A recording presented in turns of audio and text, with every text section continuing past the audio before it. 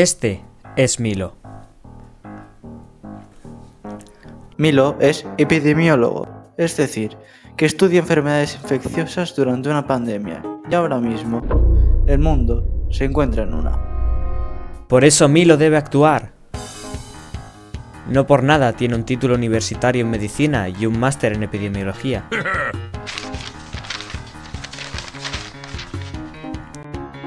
Milo debe diferenciar entre la pandemia de un brote. También conocer dónde, cuándo y cómo enferma el paciente para averiguar cómo funciona esta nueva enfermedad antes de que sea demasiado tarde. Debido a sus largos años de experiencia, Milo puede dirigir proyectos para estudiar más a fondo esta enfermedad y colaborar con más epidemiólogos.